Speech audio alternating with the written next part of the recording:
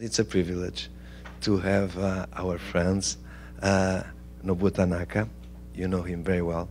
He's a very important person in the world of energy. He was is the former um, head of the International Energy Agency, and above all, a very good friend. Thank you very much for being here uh, with us.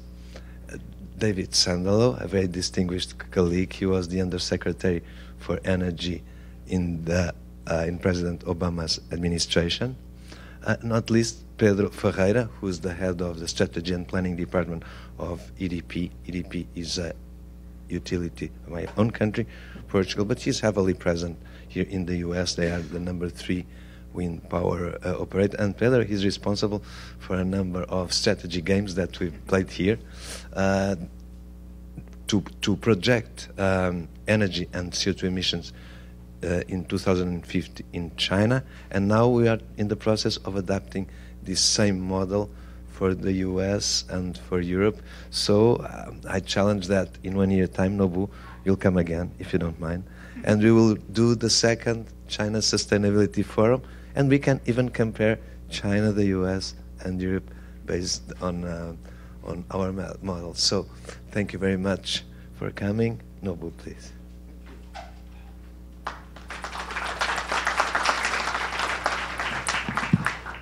Uh, thank you, Manuel, and thank you, Jason, of always arranging many things for me as um, head of the center. He's a very demanding boss for us.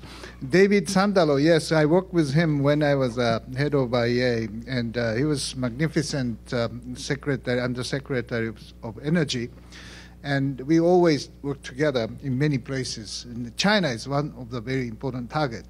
Manuel is, uh, you know, I worked with him he, when he was a minister of energy of the Portugal, and IEA uh, as a executive director. I visited uh, the country many times because uh, their reform in the country and uh, moving toward renewable is one of the very interesting model for many of the uh, IEA countries. So this is great honor for me to come again and work with uh, Manuel. Uh, and I, I, always respect him. He's a great uh, energy minister uh, whom I, I, I, knew for years.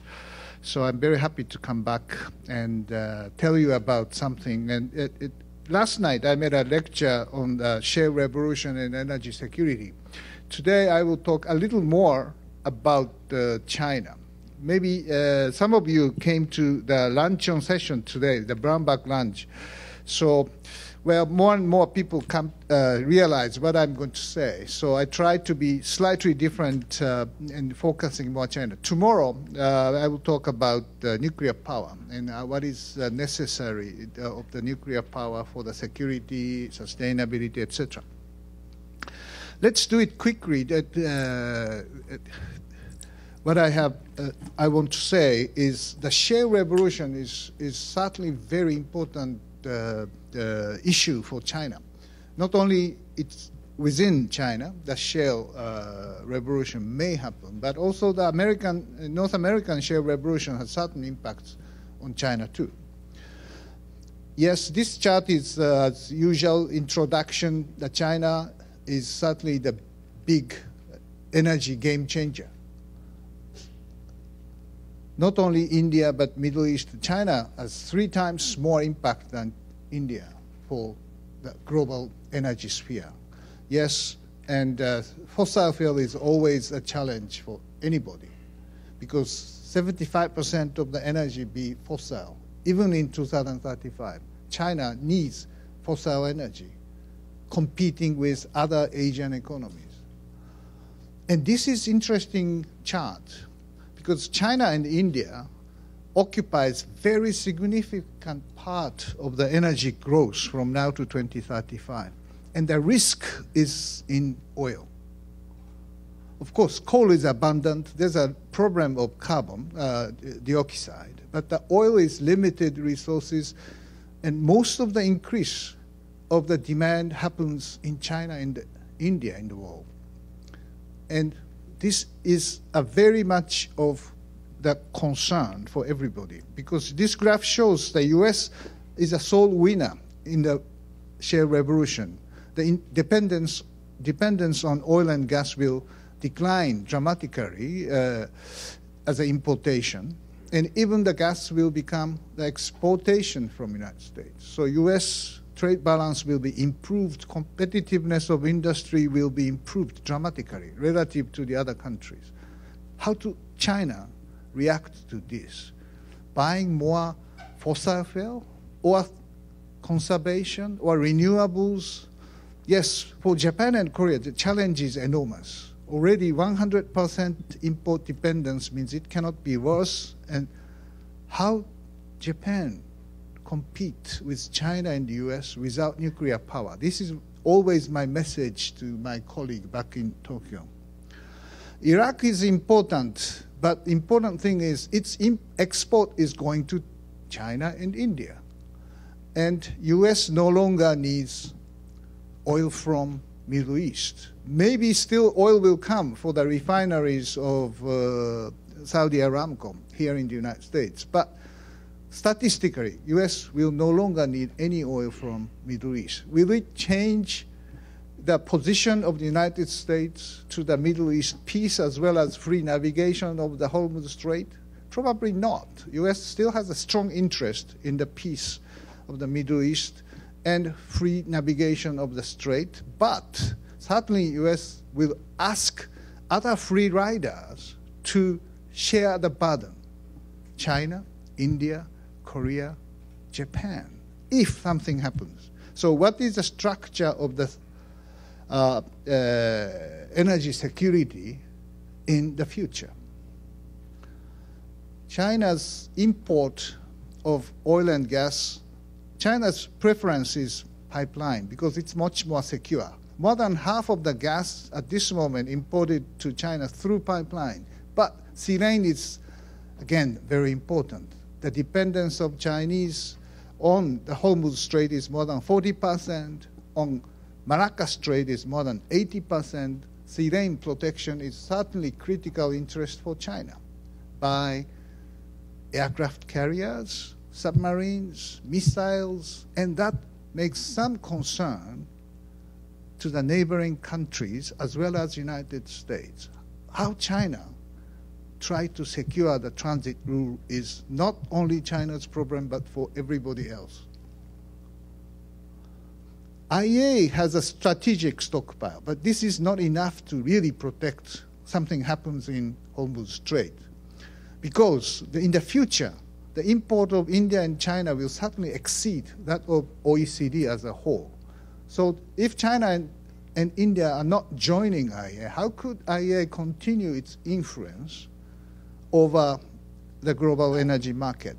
I asked Henry Kissinger to convince Chinese leaders to join IEA. It was not that successful. Co- cooperation, collaboration is happening, but not through membership to, and commitment of China to the IEA yet. But it's definitely China's interest to work with IEA because high price and volatility of the price of oil supply is the problem, much more serious problem for China than the United States golden age of gas comes, but only when China expands substantially its production. It's a Chinese issue. China is very hard to work on the shale gas. I visited the first shale gas well in China, in Shandong, nearby Shandong, in Sichuan province. Very serious, still problems. The structure is deep, different from United States the availability of water, not in Sichuan but in other places, and price control of gas or electricity certainly hamper the further development of shale in, the, in China. National targets for 12th year plan is very ambitious. Small increase of share of gas means globally a very big amount it is 230 BCM.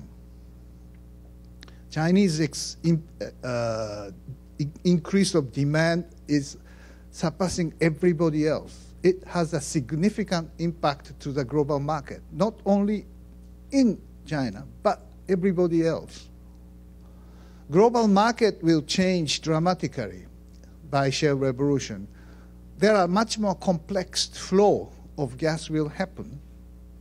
How to secure the gas supply is certainly very interesting question. Russia will play very important role with pipeline, LNG, etc. And China is preparing for different strategies, four strategic channels, they say. This is a chart by the CNPC. I got a map by the CNPC. And LNG from northeast, from northwest, from Myanmar, strategic planning is moving in China for pipeline construction. Price of gas is always issue. I don't want to go get in too much. Uh, you know what it means. I explained yesterday. There are three zones after shale revolution for the prices. Asia or Japan paying four, five times more prices of gas than the United States. How can we make it cheaper? We must work together. China must work with other Asian countries to pressure down the prices of gas. It's their own interest to work with other importers. US is in a very good position. The higher the oil price, the gas price will be lower because the liquid content can be sold, which the wet gas can be sold, the wet part of the gas can be sold as an oil price. So the higher the oil price, gas break-even cost or price will be lower. So this structure make the price indexing of gas to the oil make irrelevant. The importer of gas or LNG must change their pricing formula Otherwise, these countries will suffer. Asia has a huge disadvantage against the United States of this high energy or high gas price for the future. US will start exporting, it, it will help these importers to diversify their sources and also asking for cheaper price. This is very strategic move of the US of sending LNG somewhere else China may import, Japan may import, Korea may import, but this is a very interesting moment starting changing the formula of the price. Japan is asked to give up this destination clause or dispose the destination limitation clause. Japan is paying 10 billion barrels, 10 billion dollars more than Europe by this destination restriction. China should work with Japan and Korea to get rid of this kind of anti competitive practices, which was forbidden by the European Commission as a rule. Why not Asian country can do the same? I don't want to go into too much winners or losers, which this IEEJ, my affiliation in Japan, is telling us who are the winners of the shale revolution. Yes, United States is the largest winner, but other Latin America, Oceania producers of shale will be winners. While former Soviet Union or Russia or Middle East are losers because generally the price of oil gas will gradually decline thanks to the expansion of the shale oil and gas. China is winner, of course, because of the lower price of gas and oil. Japan too. But golden ages of gas needs a lot of implementation of much more environment friendly measures and uh, regulation, and it means more cost. Yes, Japan is trying this methane hydrate, next generation unconventional source. Electrification is the issue because the future of the energy be provided through electricity. But to, to get the electricity to the demand side, yes, you need huge investment for grid and generation. The Chinese investment is enormous relative to other countries. The cost is there. Renewables, nuclear, gas, coal, you name it. huge investment is necessary to sustain the demand increase in electrification in China. This is the different power generation in China in the IEA outlook. Coal is certainly very important, but coal should be clean to be utilized. So carbon capturing and storage would be very important technology for China. N- nothing much more than any other country, the China needs CCS. Nuclear, yes, nuclear power, China is planning to build major part of the additional nuclear power in the world. But it should be safe operation. After Fukushima, China should learn the lesson of this accident seriously. Otherwise, Japan also suffer because not PM 2.5 or yellow uh, sands may come from China. If accident happens, radioactive cloud may come. So Japan is ready to help China with our lessons we learned in Fukushima. New technologies, integral fast reactor, pyroprocessing, this is the subject tomorrow morning. But tonight, Robert Stone will show you the very interesting movie, Pandora's Promise, at CNN 9 o'clock. Please take a look at it if you want to come tomorrow's session on the nuclear power for the future. We will have the Yoon Chang, who is one of the architects of this pyroprocessing, here tomorrow. And he will tell us what is this technology is all about. China is also interested. Cost of renewables is very high. Already committed, which is coming, and this makes the cost of electricity higher in the future. This is not only problem for anybody else, but also for China, because the cost incurred in China is increasing. In Europe, it may decrease, but certainly the big deployment of renewables is problem for China. Because the more that you have variable renewables, yes, design of market, and also technology of the grid or backup facilities is necessary to accommodate renewables. So this, is, this means additional cost for China. Price, still Chinese price of electricity be lower than other country, but certainly it is increasing. And efficiency is going to be much, much more important for China. I will give several burdens. Import burden will increase, of course, for fossil China relative to other countries. You can easily see how fast this import burden happens for China. This chart shows very interesting. This is a US net oil import reduction half of this reduction comes from shale revolution, increase of the shale pro oil production, light tight oil production. That's a purple part. But other half of this energy independence of the United States be explained by the energy efficiency, the yellow part, which comes from the very stringent fuel standard for the car. So efficiency is very important for the US, but also for China, of course. Car ownership increased dramatically in China. This is the reason for the fossil demand in China. The oil savings, if the fuel standard is very tough, it happens substantially also in China, not only US.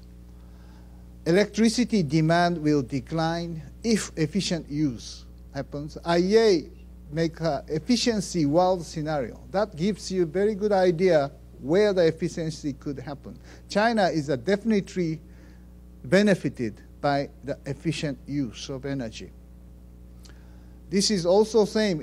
If energy efficiency happens, yes, China will certainly save a lot of money relative to the most likely scenario, the new policy scenario. GDP growth will be very big by this energy efficiency. For that, one thing China should do is this eliminating consumption subsidy of fossil fuel. China is the fifth largest user of fossil fuel subsidy. Get rid of price control of oil, gas, electricity. This is difficult, but very necessary process that China should do. Another point is energy security be warranted if it's done collectively. This is the European case. The countries are ranked by the self sufficiency rate of fossil fuel and renewables. Those countries without high fossil fuel or uh, renewables supplement the situation by nuclear power, the yellow part. But Europe has very different, each country has very different policy mix, while as a whole, European 27, second from the bottom, shows that the 50% self-sufficiency with very well diversified sources, renewable, fossil, and nuclear. But this is not only average, because European countries connect to each other by grid lines, electric grid lines, as well as gas pipeline. So sharing the electricity and gas and the reducing the risk, this is the model for collective energy security for the future. Pipelines, grid lines, and even it's connecting to North Africa, Energy for Peace, Desertec project. Yes, there is a blueprint for Northeast Asian gas pipeline infrastructure. This is designed by Dr. Hirata of Japan and proposed to Russia, Mongolia, Korea, Japan, China's experts. They are meeting from 1995 on. But China is smart enough to take this blueprint very serious and built the pipeline from Tarim Basin to Shanghai, from Turkmenistan to Tarim Basin, Myanmar to China. So pipeline system infrastructure is being built. And I was told when I saw many of the experts that, yes, we are so thankful for Dr. Hirata for proposing this. Unfortunately, this is not happening around Japan itself. This is a problem. So my, I am strongly urging Japanese government take seriously connecting Japan to Russia by pipeline. And this will diversify our sources and also stable supply is warranted. Grid line connection is proposed by Masayoshi Son. He is the owner of SoftBank, now the owner of Sprint and he is trying to import uh, gen, uh, electricity from Mongolia generated by wind. Russia wants to sell the power from generated by uh, hydro to Japan. So this kind of connection of super grid in Asia certainly makes the Asian economies closer together and enhancing energy security. So my point is, yes, the short-term issues of energy security in uh, Strait of Hormuz, we have to prepare for that. Technology is, very important. Nuclear power plays role. But most of all, yes, collective energy security, working together in IEA or working together for reducing the price of gas by new formula or collective energy security by connecting grid lines, pipelines with your neighbors, certainly China can play a very, very important role. And for me as a Japanese, I strongly believe that we don't have to waste our time, important time, by disputing over very small islands or rocks in between. Thank you very much.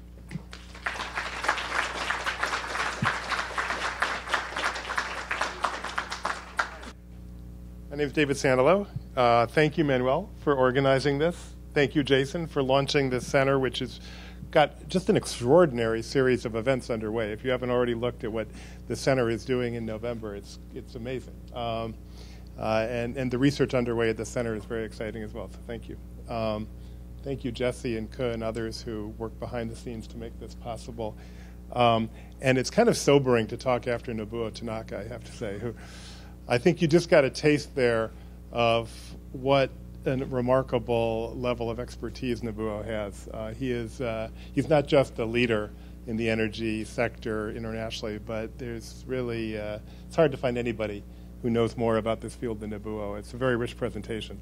Um, so I, I have I have thoughts about a number of things you just said, but I have a presentation which is shorter, uh, and I'm just going to throw out a few ideas about the Chinese energy economy, and then we can have a conversation um, about this about this afterwards. Um, this is a picture of Shanghai in 1983. Um, two years before that, in 1981, I was part of an exchange program. Uh, it was one of the first exchange programs ever held between China and the United States after normalization of relations between our two countries. It turns out that exchange program was hosted by the Columbia Law School. So it's really fun to be here um, uh, in the Columbia Law School, recalling that summer 32 years ago. Um, it was actually at the time it was it, actually it, was, it is my only affiliation with Columbia University before joining here as a fellow a couple of months ago. So it's really, but it was a very important event in my life, and it was a very different Shanghai. Uh, there was there was that summer in Shanghai exactly one international telephone line in the entire city that we could use to call home, and we would take a cab to the Heping Hotel every weekend in order to call home uh, and then we would take a cab back to Huadong Shifan Daxue where we were studying, um, and uh, and then come back the following weekend. Uh, it was it was an extraordinary experience, uh, and, and, as I said, helped to shape my my career. This is the same place today. Um, so, in the course of my adult lifetime, the Bund in Shanghai has changed from that to that. Uh, and I just I just uh, to, to, to, shift a bit, I just spent four years working for Steve Chu, some of you know uh, of. He's uh, he was the U.S. Energy Secretary uh, for the first Obama term, and, and he's a winner of the 1997 Nobel Prize in Physics. He um, a quite unusual profile for a cabinet secretary to be a, a, Nobel Prize winner. And I'm not a scientist by training. And after spending a couple of months with him, I found he kept on using this phrase "existence proof." And I, after a month or two, I said, Mr. Secretary, what is an existence proof? That's not a familiar term to me. Um, and he said, the idea of an existence proof is simple. An existence proof just means if it happened, then it's possible. Um, and, and that's a concept that's used in physics, and some scientists know here. And, uh, and so this is an, ex- I think that this transition is an existence proof of the possibility of extraordinary change in our world. If anybody ever says to you that they doubt that extraordinary things can happen. Just look at that, what, what happened in 32 years. And the Chinese uh, have obviously, Chinese leadership have obviously pulled hundreds of millions of people from poverty. People call this the most successful anti-poverty program in the history of the world. And what's just happened here. And it's, it's obviously has very significant implications for the energy economy, not just for China, but for the world. And that's what I'll spend just, just a few minutes talking about. So one obvious implication from, of what's happening in China for the energy economy is what's happening in buildings in China. So, and, and what, what happened over the past 32 years is continuing. China, um, China today, or the United States today has 300 billion floor 300 billion square feet of floor space. China is going to add that same amount in the next 15 to 20 years. So China is projected to add in the next 15 to 20 years as much square footage in its buildings as exists in the United States today. Um, and so if you're, if you're looking for a place uh, to kind of affect the trajectory of, say, global greenhouse gas emissions, improving the energy efficiency of the Chinese building stock is about as good a place as there is to do it. Um, and, and there's a lot of interesting work underway on this, both in the Chinese government and, and multilaterally and bilaterally with the United States. Um, some people have called China the Saudi Arabia of energy efficiency opportunities. It's a very favorable way of framing the issue. Um, China, uh, partly as a legacy of socialist planned economy, um, has a pretty, and partly as a result of its economic structure, which relies very heavily on manufacturing um, and heavy manufacturing, uh, has a quite energy inefficient economy. Um, and here's the basic data. This is energy consumed in million BTUs per unit of GDP. and you see the comparison with Japan, China has almost uses almost twice as much energy to generate a unit of GDP as Japan does, um, and more than India. So it's it's not just a level of development issue. Um, there are a number of other factors. So there are really extraordinary opportunities for improving energy efficiency in, in China and extraordinary attention focused on this among the Chinese leadership. The five-year, each of the last couple of five-year plans have had very specific targets for energy efficiency. Um, they've had a very, there's been a very serious infrastructure for trying to achieve those targets, um, and and that continues. Um, and, and, and, you see here, th- this shows it's a time series, and it shows that China, although it remains very inefficient, has improved dramatically um, over the course of the past couple of decades. Um, still remains very high, um, but but the, the, the first derivative is downward. Um, what's happening in the Chinese auto markets is unbelievable. As anybody who's spent time in any of the major cities has experienced, the traffic is incredible. This is a, shows the purchases of Chinese vehicles. I was in, in Shanghai a couple months ago, and I asked somebody who works for GM there, said, "You're now at 20 million vehicles sold per year." Um, and by the way, for those who don't know these statistics, the United States is at about 12 or 13 now, I guess. We're up to 13 million vehicles sold. So China surpassed the United States in terms of total vehicles sold a couple of years ago, and it's just sh- shooting off. I, I, said, You're at 20 million. Do you think you're going to hit 30 million? And he laughed and he said, We will hit 40 million. Uh, that's 40 million new vehicles a year sold. Today in the United States, there's a, a little bit less than one vehicle per person. In China today, there's about one vehicle for every eight people. So the potential of the Chinese uh, market to absorb new um, automobiles, automobiles is extraordinary. Obviously, it's very profound impacts on oil demand globally. Um, one thing, uh, the data on, on oil demand in China is actually not that good. Um, partly as a result, the, the Chinese are, are, continuing to fill up their strategic stocks. Um, and Nobuo's experience with this, very deep experience, but but the exact amount that's going to the strategic stocks um, is not always clear. Um, and so it's very interesting and important questions about exactly how much is being used by Chinese consumers in these vehicles. And it's actually some research that we're, we're launching at the center in this area. Let's talk about shale gas for a moment, um, which is another important issue in China. Um, China has extraordinary shale gas reserves. By some estimates, not all estimates, China has the biggest shale gas reserves in the world. Um, not all of them are, are so called marine shales, which are the best and most accessible shales. Um, but both in, uh, in Xinjiang, up in the far northwest, and then in the Sichuan Basin, there's uh, very significant shale and beginning efforts to produce it. And, and uh, Nobuo visited uh, one of these uh, initial production wells. Um, the, the Chinese government has very aggressive targets for for shale gas production at this point. Both a, there's a 2015 target and a 2020 target. I think the general consensus, even among most Chinese observers, is fair to say, is that it's going to be challenging to hit those targets. Um, and there's a variety of issues. The the below ground issues are um, challenging in China. The, although it's a good resource in China, um, it's in general deeper than the shale in the United States, and and um, in many places there's there's issues with mountainous terrain where the recovery is. Um, there's a also a variety of above ground issues in recovering ch- uh, shale from China. There's um, water shortages in Xinjiang up in the far northwest. Um, is a very uh, water stressed region, and it's not clear how you would get enough water to the region for large scale fracking.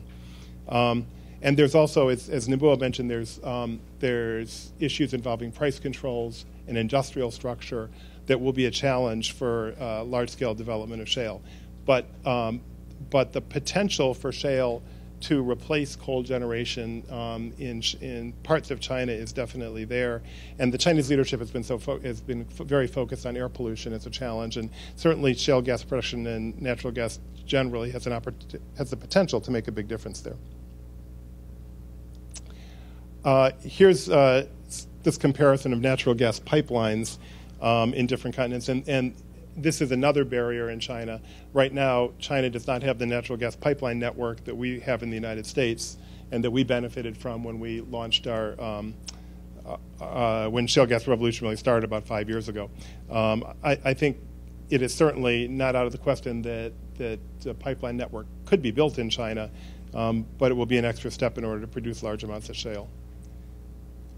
let's talk about clean energy. This is a slide produced by um, Bloomberg New Energy Finance. What they mean by clean energy is renewables, and uh, I think in this context, um, and uh, China's been one of the world's largest uh, investors in in renewables for years, and was in 2012 the largest investor in renewables. Um, Chinese wind production um, is the top in the world. Um, Chinese now have most of solar manufacturing um, in the world, which has been a source of contention and trade disputes, both with the United States and Europe, because of subsidies there. Um, but but there's now significant capacity for solar production in China, and uh, and in new programs in China for domestic demand for PV for photovoltaic cells. Um, so there's now new programs for feed-in tariffs in China for solar, um, and very significant effort to scale up renewable power in China. Nuclear power is extremely important in China today. Uh, half of the world's nuclear plants are being built um, in China. Um, secretary Moniz, the current U.S. Energy Secretary, was just in China a couple weeks ago, and during that trip emphasized the importance of, of nuclear power both to China and in the U.S.-China bilateral relationship. Um, there are four Westinghouse AP1000 plants in American technology that are being built in China, the possibility of, of more. And an interesting part of Secretary Moniz's trip actually was he emphasized how the U.S. and China have the potential to work together to sell nuclear technology in third country markets. And there is a tender right now in the United Kingdom where the U.S. and China, according to press accounts, may work together. So, so very interesting under, underway there. Um, I realize I don't have any slides on coal, um, which is 70% of uh, Chinese production. So it's at least worth saying a word about that, even if I keep a, nu- a nuclear reactor on the screen. And, and, and actually, uh, Mr. Tanaka didn't really talk about um, coal that much either. So let's say, say a word about coal. Um, it is, of course, overwhelmingly um, the largest energy source uh, in, in China today. Um, one thing I found um, of interest in my visits to China in the past six months is for the first time the leadership is talking about capping the, the consumption of coal and, and they're talking about in the 2020s actually coal consumption declining in China, which is an interesting move. Um, there's enormous efforts to use the most efficient coal burning technologies in China. Um, and, uh, uh, and for the first time, we started to see um, you know, significant coal imports in China, including from the United States. And there's political battles right now in the western United States about the possibility of shipping coal to China. Um, so we can talk more about coal issues in, the, in discussion if you want. I'd say, just say, just say in, oh, um, uh, I want to say a word about some bilateral programs that we and multilateral programs that we're engaging with China, and this is one that I was personally involved in. So, um, eh, about four years ago, the United States and China launched the U.S.-China Clean Energy Research Center, um, and I have here the leading U.S. institutions in this area. The the U.S. China Clean Energy Research Center now has a thousand researchers actually working across dozens of different institutions in the U.S. and China. And the COAL Consortium is headed by the West, by West Virginia University, United States, the Vehicles Consortium by Michigan, University of Michigan, and the Energy, the Building Efficiency Consortium is headed by the Lawrence, excuse me, the, the Berkeley um, Lab. Um, and uh, this has been a very successful program um, that's really taken off in terms of interest between the two countries working together to try to produce innovation uh, in, clean energy. Uh, and then uh, there is, uh, for four years in a row now, been a clean energy ministerial that's brought energy ministers from around the world together um, to talk about clean energy uh, cooperation. And China's been a very active participant. The Ministry of Science and Technology from uh, China and, and Wan Gang as the minister has been a very active participant in this program. So there's a kind of web of relationships here um, that are extremely important uh, on energy cooperation.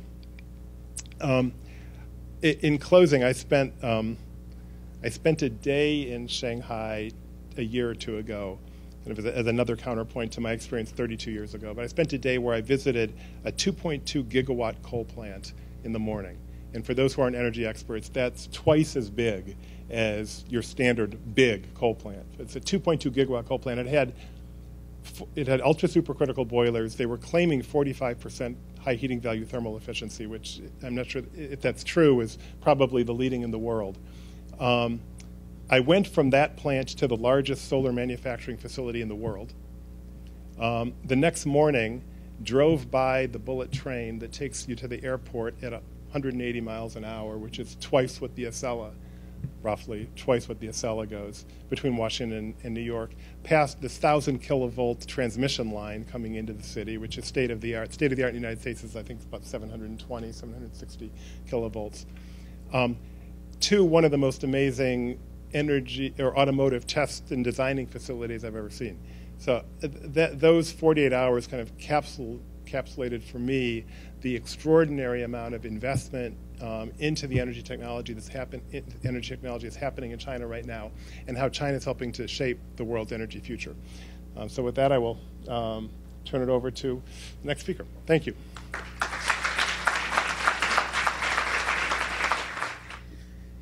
So, hello everybody. I'd like to start by thanking uh, Manuel for inviting me here and uh, Jason for hosting the event.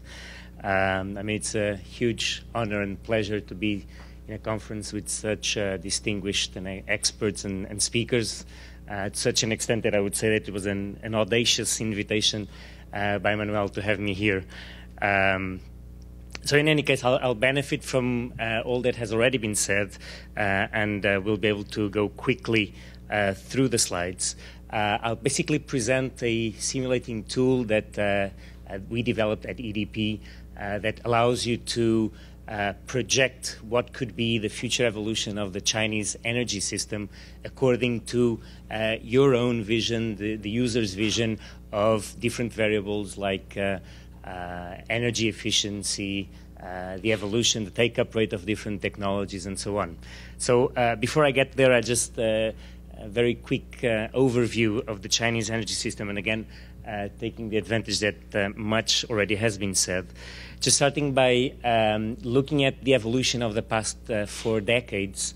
Uh, uh, comparing the primary energy demand evolution uh, of the three main blocks China, US, and, and Europe. And back in the 70s, uh, China was really a marginal player in the global energy um, scene. Uh, and basically, the West, US, and Europe were the main uh, energy consumers.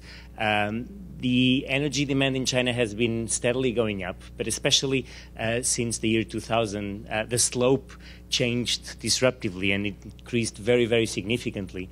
And as uh, Professor Pinho mentioned, basically in the last decade, every year China uh, has been adding the equivalent of the UK to the to the energy system. Uh, it has added basically almost the equivalent of the European Union in the last 15 years. So that really has changed very significantly uh, the whole landscape, and it has overcome uh, the US as the leading country in terms of energy demand. Uh, so it currently accounts for one fifth. Uh, of all energy demand in the world.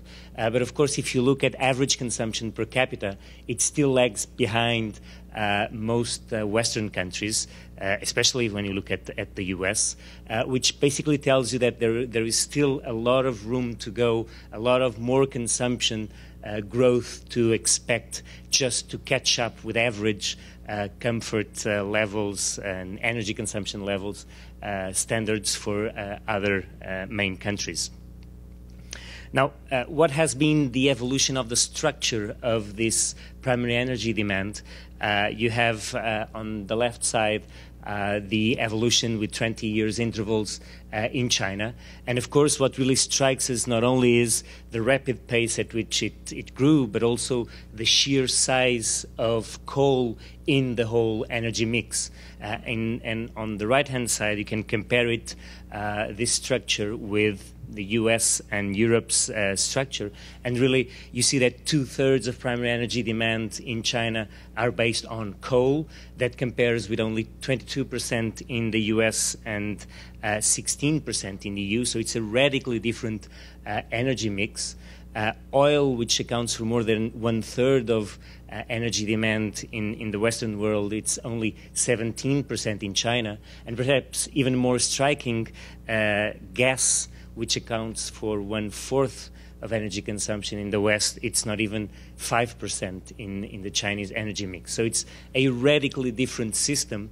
Uh, and I tend to say that, I mean, um, we tend to look at uh, coal in China as a, a, big problem, big problem for uh, global uh, greenhouse gas emissions. Uh, but I tend to look at, uh, uh, look at it with a more positive tone, and I would say that uh, coal and growth in coal usage in China has basically contributed to world peace in the last decade uh, because it was really the, own, the only resource that could ramp up locally quickly to meet the rising demand in, in China.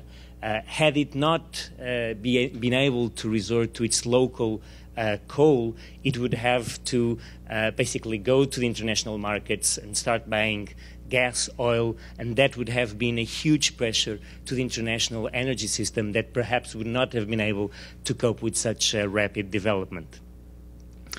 Uh, now, uh, looking at the International Energy Agency's projection for the next uh, 20 years, uh, we effectively see that this growth uh, will slow down a little bit, but will still continue very strong. There are different scenarios, but if you take the uh, central new policy scenario from the IEA, you see that the expectation is that energy demand will still grow by 50% in the next 20 years, uh, and so it will dwarf uh, the European Union's uh, uh, energy consumption. Um, the US's energy consumption is also expected to be stable. So clearly, China will assert itself even more as the largest energy consumer in the world. Um, in terms of structure, uh, it takes a long time to make really significant differences in any energy system because it has huge inertia associated. Uh, but even in this new policy scenario, you see that coal is expected to gradually lose uh, its share in the overall Chinese energy mix, but still by 2035, in this scenario, it will still account for more than 50% of total primary energy demand, which will still be a major difference when you compare it to other energy mixes. Now, um, we took the challenge of thinking a little bit beyond this 20 year horizon and, and uh, just using very simple variables like energy intensity, carbon intensity, energy efficiency, uh, vehicle penetration per capita, and so on and so on. Uh, using these very uh, elementary variables, uh, what could be the evolution of uh, China's energy consumption? Um, and that's how we came up with this tool. Um, well, just start by saying that uh, for the near future, um, up to 2020, China has already set itself uh, several targets for the energy field under these five-year plans. It's a it's a planned economy. So uh, up to 2015, uh, under the 12th five-year plan, there are already uh, specific targets for uh, renewable energy in the primary uh, energy, carbon intensity reduction, and so on. Uh, and when you look at the 13th five-year plans for the targets that are already uh, being discussed, uh, these are pretty ambitious. Uh, renewable energy is expected to climb to 15% of primary energy, uh, starting from a base of around 10% today. Uh, so increasing five percentage points in a system that is growing so rapidly will imply growing even more quickly this kind of uh, resource. So that, that will be a, an extremely important effort. Uh, and I would also draw your attention to this carbon intensity reduction uh, of 40 to 45 percent, um, which is really ambitious if you think that uh, neither Europe nor the US achieved in a 15 year time frame for the past six, seven decades of recorded data on this uh, have never achieved actually uh, such a carbon intensity reduction, which tells you that this is really ambitious. But of course, climate change is an absolute issue. It's not a relative issue. So uh, GDP is expected to grow so fast that even if carbon intensity uh, goes down, uh, the total amount of greenhouse gases is expected still to grow. Now, what about uh, beyond 2020? So that's what leads us to uh, the simulator that uh, that we uh, implemented. Uh, uh, I'll show you quickly. this is publicly available. It's on the internet. I'll show you the, the link. but basically, the user is asked a series of, of questions about whether he believes in a lot of electric vehicles or not so much, a lot of wind, a lot of gas, a lot of nuclear. so the user can uh, get uh, different perspectives on different variables, and automatically what you see is uh, the, the simulator plotting. So, how will, according to your views, uh, primary energy demand evolve, uh, final energy, power generation, electrification of society, greenhouse gases, and so on and so on. Um, and of course, I mean, just for those that have more sensitivity to, to, the numbers, uh, I mean, the, the, the, values that are um, in these uh, in, in, in, these multiple choice uh, answers are staggering. I mean, just uh, uh, even if you put like 200 gigawatts of wind, which is absolutely huge, it's basically uh, all wind installed capacity in the world.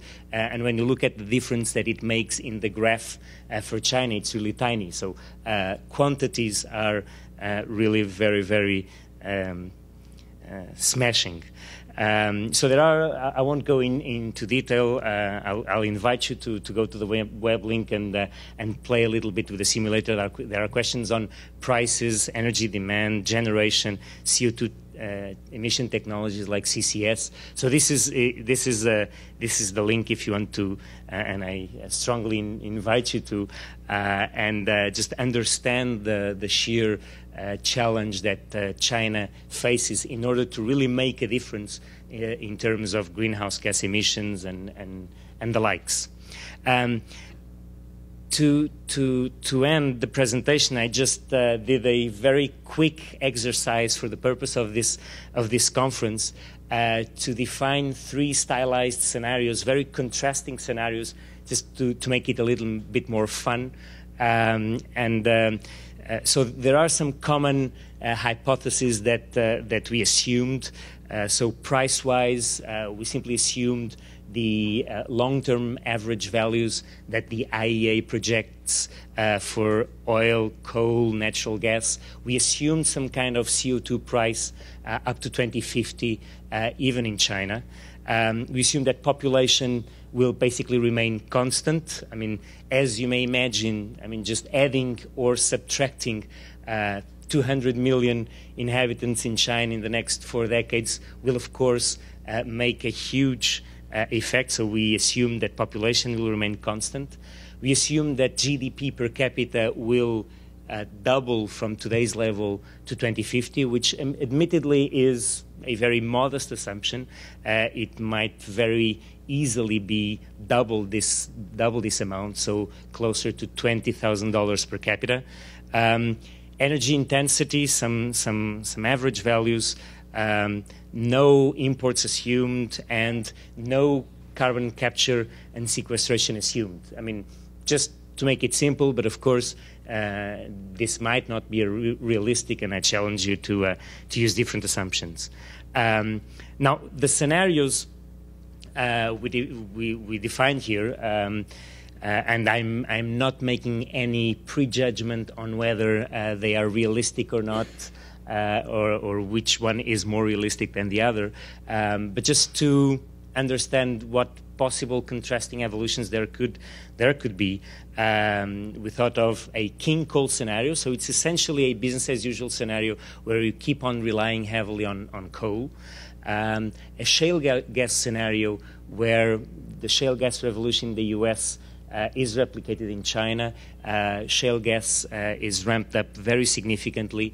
They go into fuel switching in the transport area. So we assume that, for example, 75% by 2050 uh, of road and non-road transportation switches uh, to to natural gas and a bit of biofuels as well, um, and that uh, natural gas.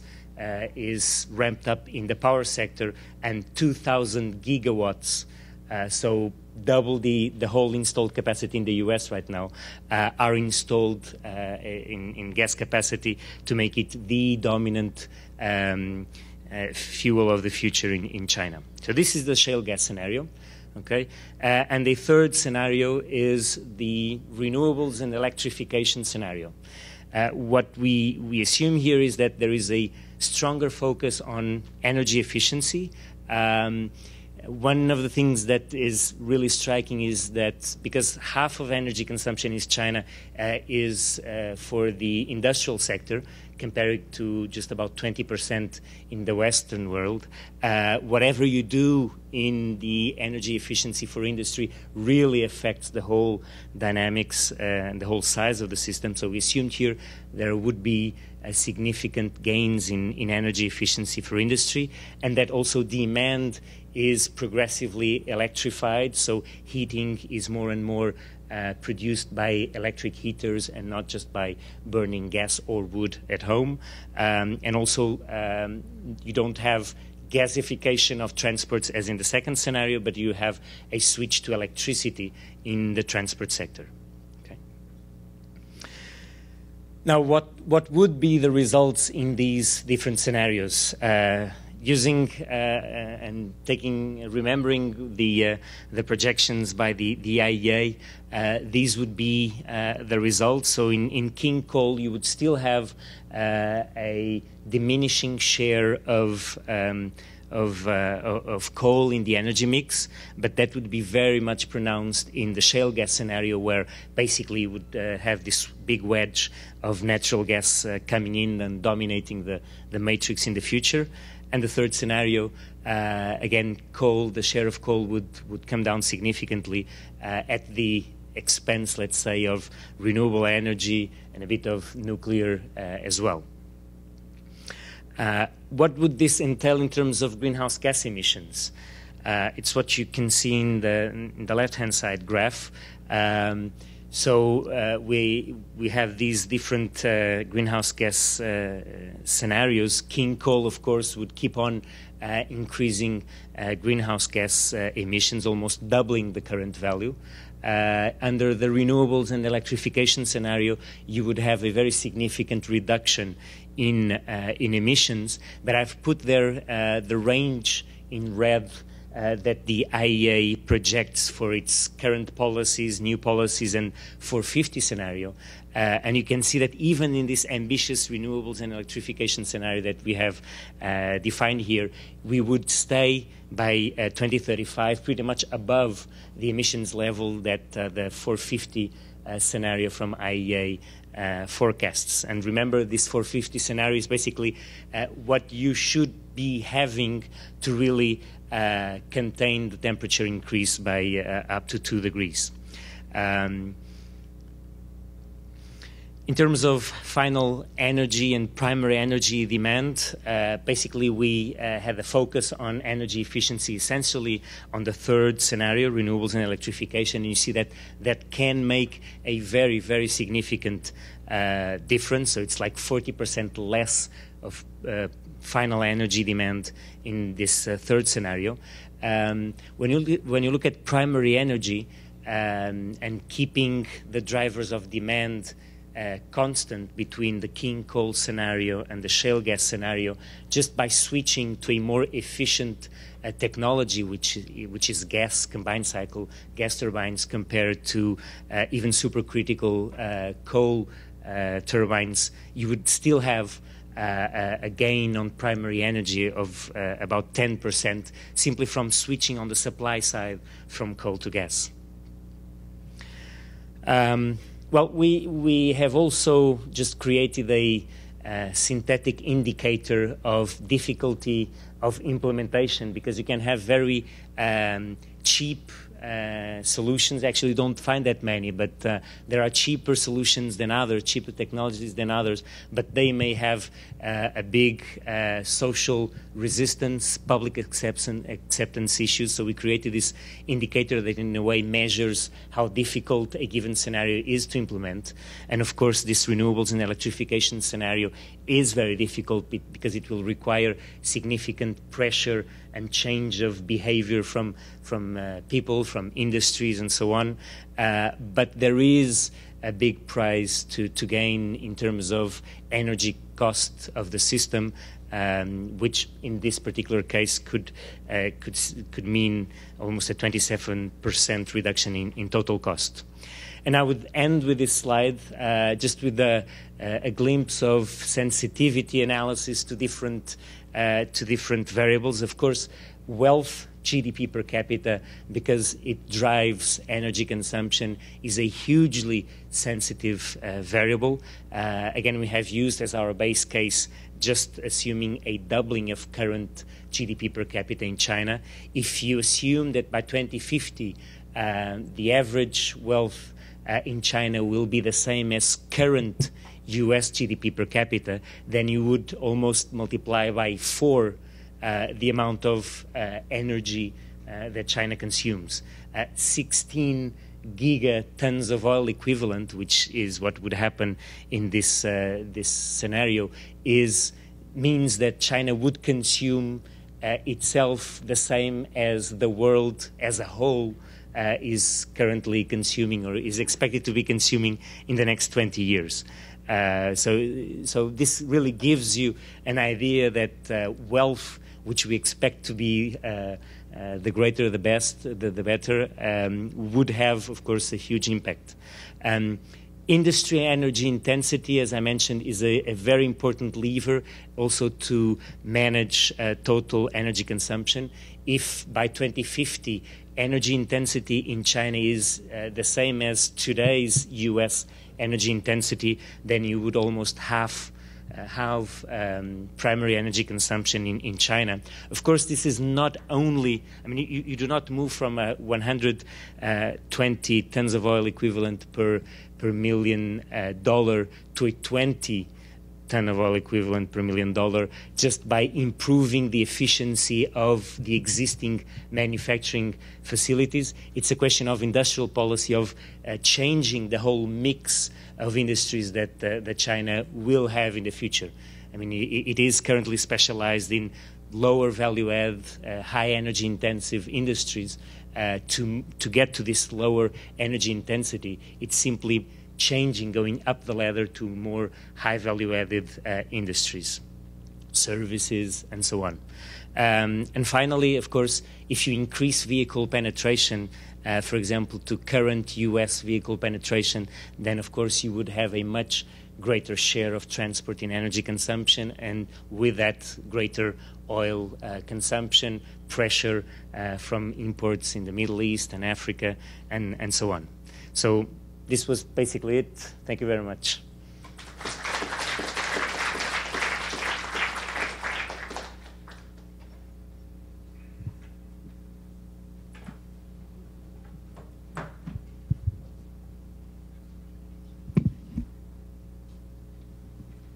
Um, I'd turn things over to uh, Manuel now, um, and uh, they, the panelists might have questions for each other. I'd allow them to react for a few minutes, but we have about 20 minutes left. Um, and then afterwards, if there's any time for questions, we'd invite you to come down, um, state your name and affiliation, and please make your question uh, question. Thank you. Thank you. First, uh, congratulations. These were two fanta- three fantastic uh, presenters. Just, uh, if I may, start with the first question. Uh, the figures for China are staggering. Uh, they, they are really very impressive. And I just call your attention to the fact that these projections are assuming that uh, income per capita will double between now and 2050. And that means growth rate of less than 2% a year. 2%. Uh, which is unlikely. You know, taking, for example, the, the, the estimates of the IMF, which are about 7.5 until the end of the decade, that would create such a speed that it would involve recession, negative growth in, in the last decade. So, most likely, this will be your third assumption, multiplying by three. And by three, you know, this shows how the. I, I know that the UK is very important, but the UK is one one China per year, and compound growth will create, I mean, an incredible effect.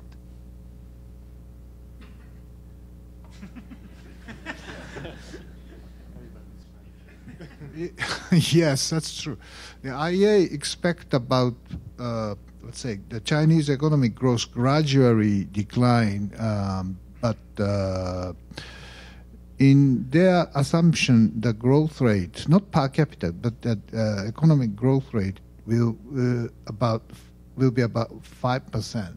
Uh, so uh, so, so, this makes a huge difference um, in, in, in, in, by the assumptions.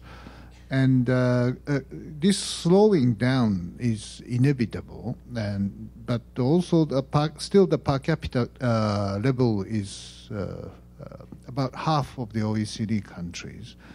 So is this the kind of uh, limit for the economic growth or not? Um, but half of the population means, I mean, uh, half of half of the per capita uh, uh, GDP means that half of the population is as high as OECD average. So, in fact, uh, this is uh, that China's uh, economic assumption case is always the big uncertainty or whatever the big question mark of these assumptions makes a huge difference in any parameters. And uh, in IEA's uh, uh, say pre- projections or scenarios, this uncertainty creating huge problem because if China changes, for example, policy on on coal development, and in Xinjiang province there's a huge potential resources on, on coal, and uh, if China is seriously develop these coal mines and then also built the logistics of uh, supply, the railroad, so China can be easily the exporter of coal, not importer. And this makes a huge difference in, in, in, in the coal market around the world. So China uh, uh, case is always very difficult to make good prediction in the future. And also CO2 emission is very interesting in your case. Yes, each case has a different um, uh, scenarios. But if Chinese economy further slow down, it could happen the peaking of CO2 may come much earlier than expected. Currently, the peaking of CO2 emission arrives in uh, beyond 2035 or something, but it's coming closer to 2025. I talk with many Chinese experts of that, and many say it, it may happen in 2025 or even earlier. If that's the case, it's coming very close to the IEA's 450 scenario. So difficult to to make a good guess, but um, Chinese, uh, let's say, uh, efforts as well as the uh, policy uh, decision makes the huge difference. So I think if China, when China commit many of the 12th uh, five-year plan numbers, parameters, I think modestly uh, uh, uh, setting the number means China can be much more ambitious to make uh, lots of, uh, let's say, efficiency or conservation efforts or use of the technologies. So mm, we'll see. But as my Manuel worries about the parameters, but in fact, uh, many things, or so-called green uh, paradigm of China, may change uh, dramatically the global uh, perspective because Chinese economic growth cannot be warranted without this kind of very efficient green paradigm. No way to make economic growth as such. So China needs the huge change in the transportation sector, much more to the economic, uh, electric vehicle or something else, or a very efficient way of life.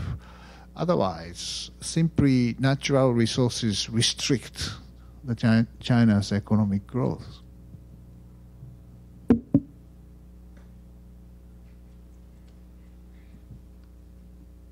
All right. If anyone has any questions, we'd welcome you to come down.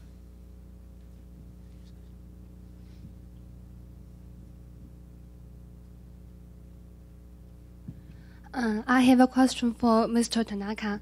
Uh, hi, um, Tanaka, uh, Mr. Tanaka. Of course, uh, I, uh, China needs IEA, and of course, IEA needs China, right? So, do you think it is the high price of gas that inhibit the step of China to become a new member of IEA? And if your answer is yes, then um, you just mentioned that China could be a, a good a coal exporter, then it is a uh, it is appropriate for China to increase the price of coal. So this is a, the first question, and the second question is that you've mentioned that now China needs CCS. CCS is very important to China. But according to the uh, simulator 2050, uh, there will be no uh, power plant with CCS and no mitigation with CCS. So I'm I'm really confused about what how can CCS survive. Okay, thank you.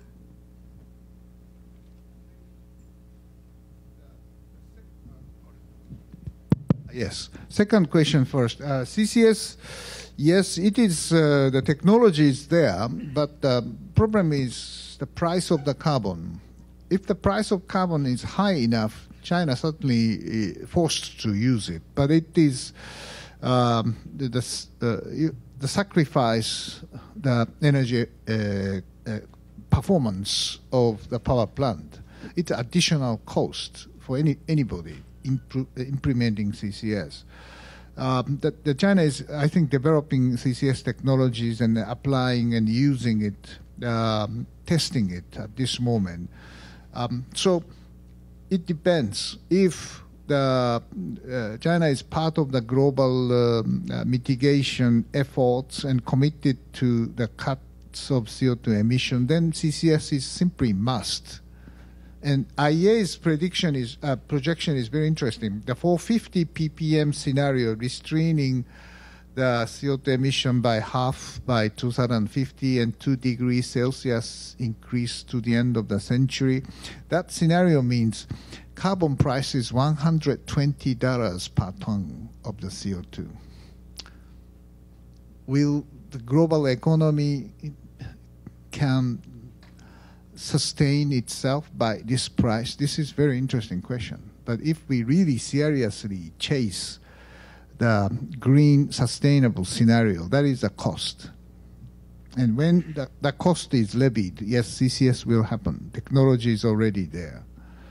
Uh, the first part, IEA and China, yes, uh, I think higher prices of uh, oil will push China for more efficiency, but at the same time, uh, uh, say needs for more stability uh, of the price as well as supply. So, higher the oil price, I think China feels more the vulnerability and working much closer with IEA. I think. And it is the mutual interest. Yes, China needs stability, and um, uh, let's say uh, to get working closely with IEA means yes, China should build the uh, strategic stockpile, 90 days, and use it together with IEA. And, and, and in case China suffers the disruption and the loss of supply, then I, other IEA countries will help China to be supplied. So this is definitely the mutual win-win situation. So when I was elected as um, executive director, I visited China and asked this question: When China is ready to join the IEA? The answer was five years, because my term is just four years. That's a good answer. Already five years has passed since I asked that question, but uh, China hasn't yet been a member. So this is uh, difficult, but uh, if China is not joining IEA, Chinese intention is building new IEA in Asia under its leadership. maybe you may call it Shanghai Organization or not, but that is possible option. And um, we'll see. I mean, this is uh, what kind of, uh, let's say, uh, China and India import, import is as big as OECD eventually, right? So how these two countries manage the uh, security or price stability, certainly making the difference. So if China so wish, you can create one. And then the question is how other uh, current IEA members will behave. Should they join the new organization? This is an interesting question. Just uh, two quick comments about that uh, on, the, on the IEA question. First, since we're here in the law school, maybe it's worth pointing out there's some legal issues involved with China joining the IEA. The, I, the treaty that the IEA is formed under with the OECD dates back to the 1970s and in a very different world. And um, China would, as I understand it, need to become a member of the OECD in order to become a member of the IEA, and that presents some legal barriers. They may not be insurmountable, but they're significant just from a pure joining of membership standpoint.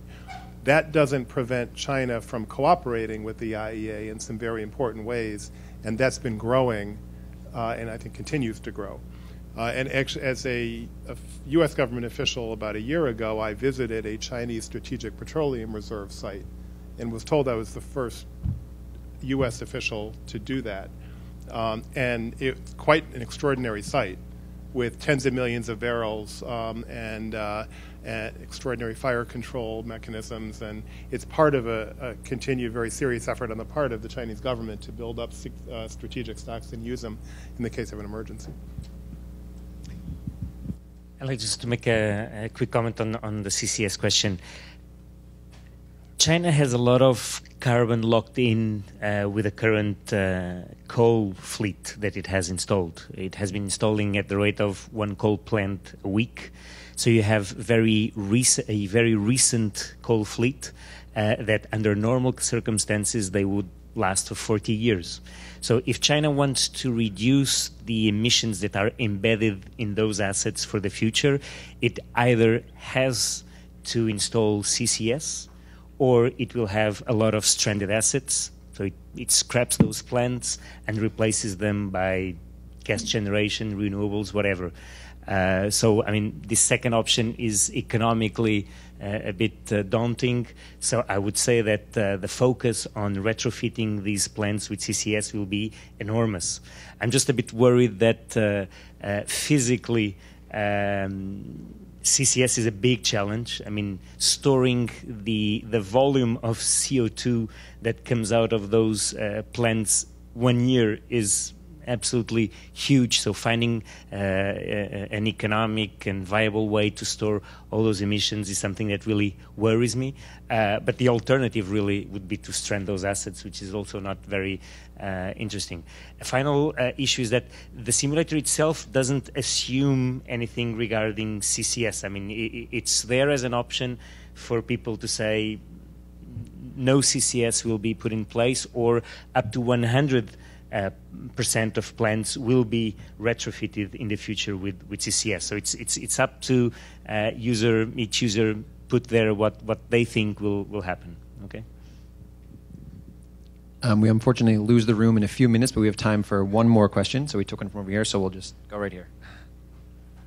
Uh, thank you uh, for, for, the privilege. And uh, my questions are for the whole panel, whoever is uh, concerned. As far as I know, uh, yeah, just for the, the, the IE, IEA and then China cooperation problem, is it because the China is a little bit more conservative to the for the current energy structure because it doesn't want to worse off its relation with OPEC. So, and IEA cannot answer for the question that uh, how China will benefit from joint or cooperation with the IEA. The, is it because it is a struggle uh, problem? And my main question is that, uh, as far as I know, there are many other factors. Uh, yeah, that's uh, Professor Pelela just uh, just mentioned. China might fail to reach its um, 2015 goal, the shale gas goal, and there are many reasons behind this. First, uh, uh, like the technique and stuff, because China has a worse natural endowment than, than USA, and to develop the shale gas, and uh, and this will increase its cost. And secondly, because gas is relatively cheaper in China as the government uh, manipulates. And third, there might be water and, uh, shortage and pollution, as mentioned, and this really requires a harder uh, supervision and surveillance, but which is very weak in China. Uh, and fourth, that there might narrow interest group uh, is um, there, might be struggle for the overlapping rights of mining uh, for the new companies to develop shale gas uh, with uh, like PetroChina with uh, SOEs. Or, uh, so there might be. So uh, I can. I mean, there there is this sort of concerns and prudence in China. the debate for shale gas. So I mean, what, what is the endogenous incentive and external stimulation that China needs to uh, to meet the global expectation? Thank you very much. Thank you. And we've got a chance for a quick response from each um, panelist, and then we have to wrap it up. So. Thank you. Uh, the first question about OPEC, uh, IEA, and China. Yes, certainly China needs more OPEC than IEA. Well, but at the same time, uh, there's a risk. So I think the real reason China cannot join the IEA is probably the nature of the IEA is very geopolitical at the beginning. So created by Henry Kissinger and others to face the challenge from OPEC. Um, and in case, for example, let's think about the possibility of Israel and the United States uh, started the battle with Iran, and Hormuz Strait is blocked, then IEA will release stockpile. Will China join this operation? This is very interesting question, right?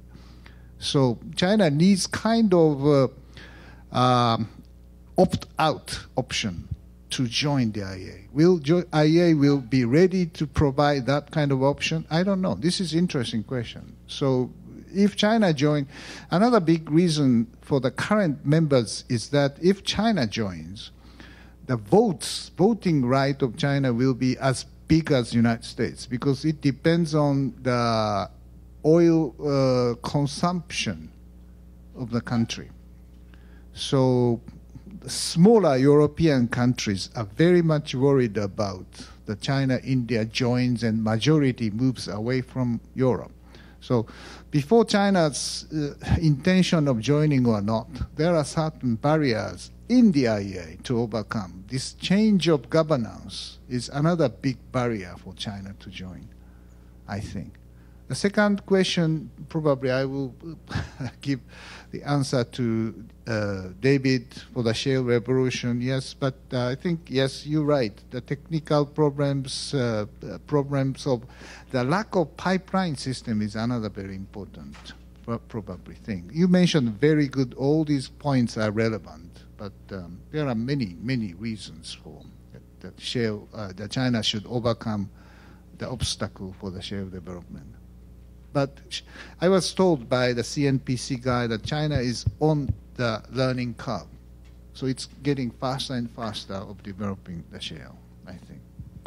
Well, we're, we're out of time, and I, as I can say, we're out of time. I think it's appropriate that Tanaka-san should have the last word.